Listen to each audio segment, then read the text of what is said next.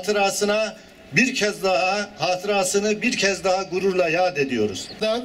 yaşayan Kanuni ilk kişilik özelliklerini Trabzon'da almıştır.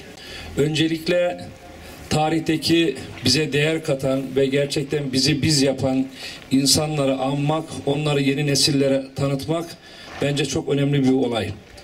Tabii bunun yeteri kadar tanıtılması, yeni yetişen nesillere anlatılması, e, geleceğe bakarken geçmişi iyi tanımak açısından çok önemli. Tam da kanuniyi anlayacağımız, anlamamız gereken dönemlerdeyiz veya ecdadımızı anlamamız gereken, onların vizyonunu anlamamız gereken dönemleri yaşıyoruz. Çünkü milli düşünüp milli fikirlerle evrensel düşünebilen ecdadımız ta o zamanki tarihlerimize dönüp bakıyoruz. Hani meşhur söz vardır ya Adriyatik'ten Çin Seddi'ne kadar her yerde izlerini, her yerde muhteşemliklerini görürsünüz. Dünyanın neresinde başı dara düşen bir millet olursa döner direkt Osmanlı'nın doğduğu yerlere doğru bakar.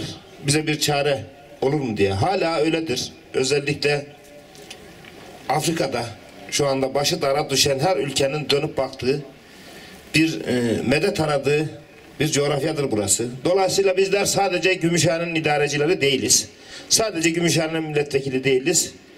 Bize dönebilecek yardım, bizden beklenecek her türlü yardıma el uzatabilecek bir milletin mensuplarıyız. Esasen o tahta geçtiği zaman Avrupalıların tabiri şu idi. Yavuz Sultan Selim gitti. Aslan gitti, kuzu geldi. Bundan sonra işimiz iyidir beklentileri içindeyken farklı bir tabloyla karşılaştılar.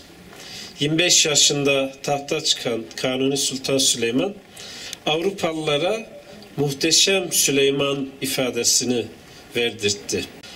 İçinde bulunduğumuz bu belde de Kanuni Sultan Süleyman'ın emriyle burada çalışan, madenlerde çalışan işçilere ev yapılması emriyle temelleri atılmıştır. 50 ev yapılmasıyla başlamada 60 bin nüfusu barındıran bir belde haline gelmiştir.